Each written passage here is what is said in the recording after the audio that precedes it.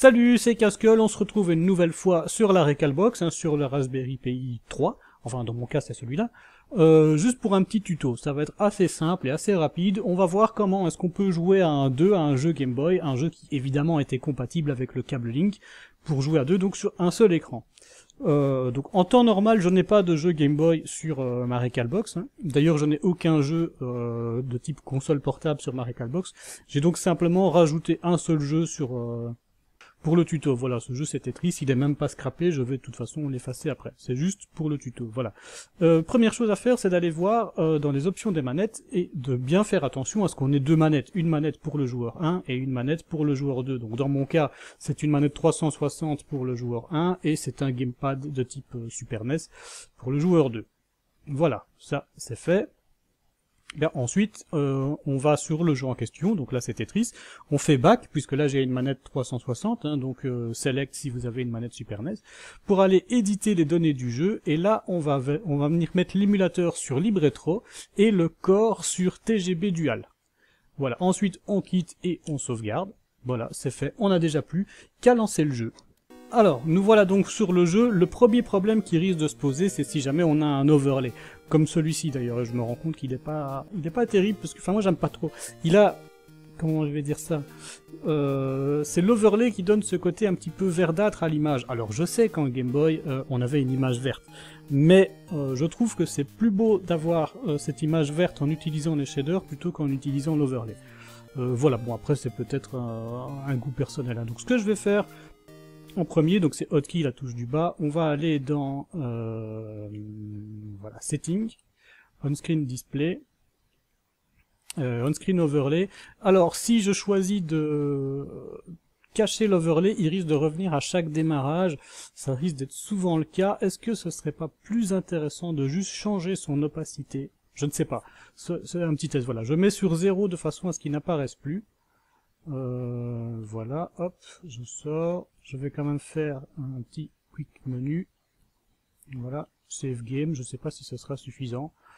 Euh, voilà, donc là l'image est pas très belle. On peut regarder un petit peu au shader, hein, c'est pas un souci, mais euh, bon, c'est pas ce qui est important ici.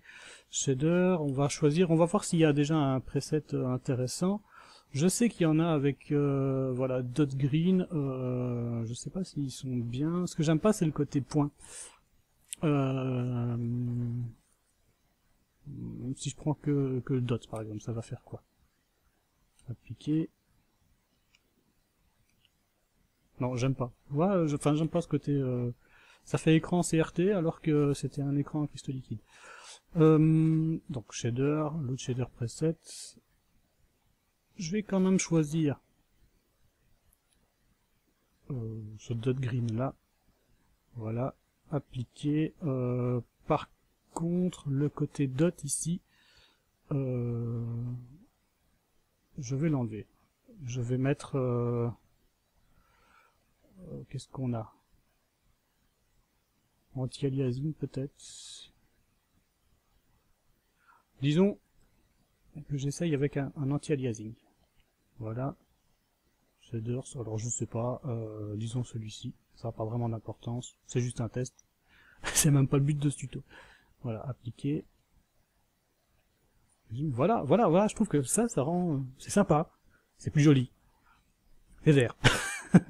bon, alors, le tuto maintenant. On recommence. On retourne dans ce menu euh, RetroArch, donc hotkey, et la touche du, du bas. On va sur Options, on va euh, sur GB Link Enable et on le met donc, euh, enfin de base il est sur Disable, on le met sur Enable. On ressort de ce menu, on fait une petite sauvegarde, save game, jamais de save core, hein, n'oubliez pas, jamais de save core. Voilà, on fait une petite sauvegarde, save game. Et euh, on doit redémarrer. Alors le truc c'est que si on fait hotkey et la touche de droite, je ne pense pas que ce soit suffisant, on va essayer. Non, c'est pas suffisant. Il va falloir quitter le jeu. Donc bah là je quitte le jeu en faisant hotkey et start. Bon, après avoir quitté, on le relance, hein, là je l'ai déjà relancé, et comme, comme je le pensais, euh, l'overlay est revenu et les shaders sont revenus un petit peu par défaut. Euh, donc ce que je vais faire, c'est que je vais juste aller... Euh, euh setting, on-screen display, on-screen overlay, je vais le, le masquer pour l'instant. Voilà, c'est tout.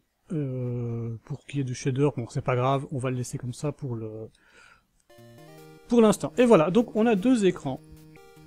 Ah non, le shader est bon en fait, le shader c'est bon. Et on va mettre pour jouer à deux.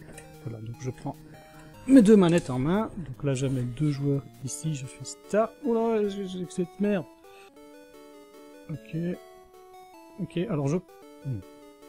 Je pense qu'on a eu un petit problème avec le shader, je ne sais pas si ça vient de là. Mais donc avec ma manette 1, je peux jouer avec euh, le joueur de gauche, et avec ma manette 2, je peux jouer avec le joueur de droite. Donc il y a Mario et Luigi. On sait maintenant jouer à deux sur un jeu Game Boy. Alors ça fonctionne aussi sur Game Boy Color, par contre ça ne fonctionne pas. Peut-être que je me trompe, mais je pense que ça ne fonctionne pas sur euh, Game Boy Advance. Voilà. Sur ce, je vous souhaite une bonne journée, une bonne soirée, un bon amusement, et on se retrouve bientôt pour une prochaine vidéo. Salut